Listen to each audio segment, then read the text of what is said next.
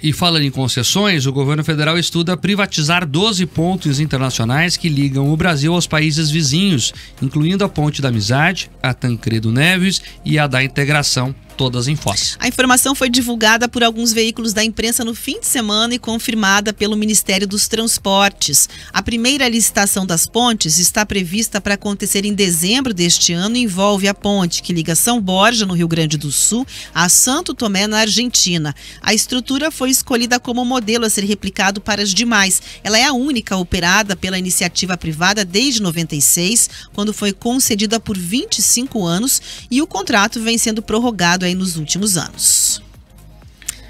Já a concessão das outras 11 pontes internacionais, incluindo a Ponte Internacional da Amizade, entre Foz do Iguaçu e Ciudad del Leste, a recém-finalizada Ponte da Integração que liga Foz ao Paraguai e a Ponte Tancredo Neves que liga Puerto Iguaçu na Argentina, está prevista para acontecer aí no segundo semestre de 2025. A intenção é realizar a concessão pela menor tarifa, ou seja, a vencedora será a empresa que oferecer o menor valor de pedágio. Com a privatização, o governo governo federal espera reduzir o tempo de despacho aduaneiro de 24 horas para apenas 4 horas. Além disso, segundo os estudos, o pedágio seria cobrado em dólar, o que dá segurança aos operadores e expectativa de mais concorrentes nos leilões. Com as concessões, o Ministério dos Transportes calcula uma economia com custo de manutenção de 1 bilhão de reais ao longo dos 30 anos dos contratos. Ainda segundo o Ministério do Transporte, dos Transportes, os estudos de viabilidade das concessões estão em andamento. Um dos objetivos é permitir a gestão das pontes de forma articulada entre os governos. Presidente da Associação Comercial e Industrial de Foz do Iguaçu, Danilo Vendrúsculo, e também o vice-presidente do programa Oeste em Desenvolvimento, Alci Rota, estão preocupados com a possibilidade das pontes da região serem privatizadas. Vamos ouvir o que eles disseram. Você implantar um pedágio é, nas condições que está, eu acho completamente é, inviável. E além de você envolver um outro país, é, e certamente isso haverá reação também do outro lado, e, e, e, sem dúvida, quem mais vai perder com isso é o comércio de modo geral, uh, o processo de integração. Entendo que é, merece ampliar o debate sobre o assunto, a gente sabe que hoje o fluxo na Ponte da Amizade já é intenso, né, e com a cobrança de um pedágio pode agravar ainda mais. É, com relação à, rapidez no desembaraço das cargas, e, também existem outras alternativas, como retirar da cabeceira das pontes as aduanas e privatizar alguns processos. Enfim, é, merece é, ampliar esse debate, especialmente nessas localidades onde eh, as pessoas serão muito mais impactadas. De acordo com o Ministério dos Transportes, a ponte de São Borja, no Rio Grande do Sul, é que está em melhores condições estruturais e tem o menor tempo de espera na aduana, porque o serviço é unificado entre os dois países. Um debate importante, temos que aguardar para ver como ele vai amadurecer. Rafael até me alertava aqui fora do ar. Olha o governo do PT, hein? Tá vendendo até as pontes internacionais. É, a, a priori, é, terceirizar a gestão traz, a priori, mais benefícios aos usuários. E aí eu quero aproveitar para conectar com outra coisa. Todo mundo está vendo o que está acontecendo em São Paulo nesse momento, né? A companhia de energia elétrica lá não consegue dar atendimento. E aí vem o pessoal com o discurso pronto, tá vendo? Privatizou e piorou o serviço. O que não é verdade. O que nós temos que cuidar é com o contrato que é fechado. O contrato lá de São Paulo é muito antigo né? Tem parâmetros muito ruins, muito ruins. Foi fechado em um tempo que nós não víamos tantos desastres naturais por causa de efeitos do aquecimento global e assim por diante. É, então não há parâmetros ali para você garantir a eficiência do serviço mesmo diante destes cenários. Mas mais do que isso ali é uma briga que eles ficam empurrando né, também a bronca com a prefeitura, que é um órgão público.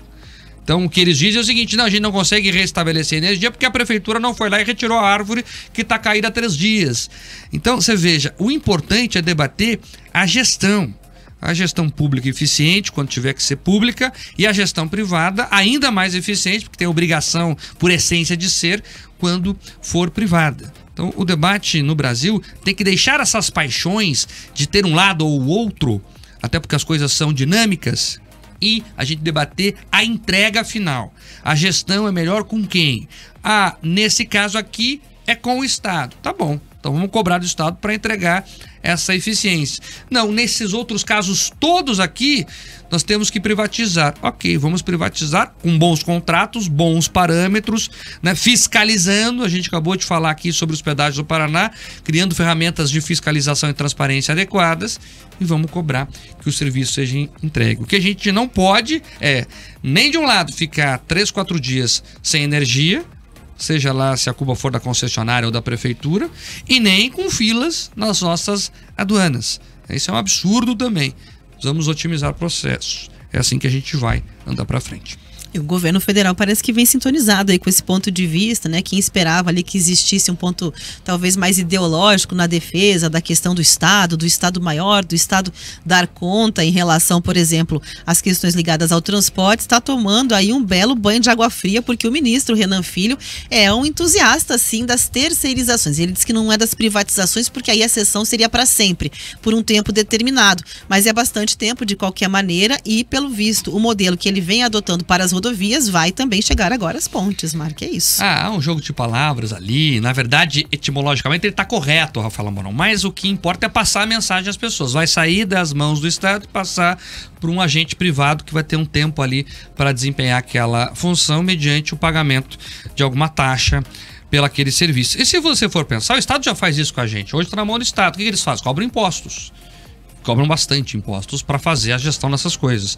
Então, é mais ou menos isso. O Renan Filho né, tem sido um dos melhores ministros do Lula. Claro, na minha opinião, que né, tem uma visão liberal das coisas.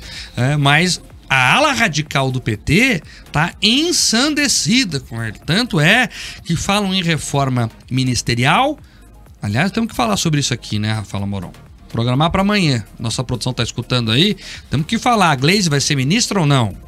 Temos que dar uma avaliada do balcão de apostas lá de Brasília, principalmente entre os paranaenses. Pois bem, mas tudo leva a crer que o Lula deve fazer uma reforma ministerial, se vai ser mini, se vai ser máxima, a gente vai entender ao longo dos próximos meses, mas na virada do ano. E aí, o que tem de petista raiz pedindo a cabeça do Renan Filho não tá no gibi. A ala jangista do PT, que é muito forte, né? Já ali o pessoal é, da primeira-dama, que inclusive a coloca como sucessora natural do Lula, tá ensandecida, que é a cabeça do Renan Filho na bandeja. Se eles vão conseguir ali é, conversar com a ala pragmática do PT, que entende que tem que fazer acordos para ter o mínimo de governabilidade, a gente não sabe. Eu estou curioso para saber como essa conversa vai se dar ali na frente, Morão. Eu também estou bastante curiosa para entender como é que vai ser a configuração. Então amanhã a gente vai trazer os detalhes aqui. Já alertei a produção do seu recado aí, Marque. Reforma ministerial em pauta.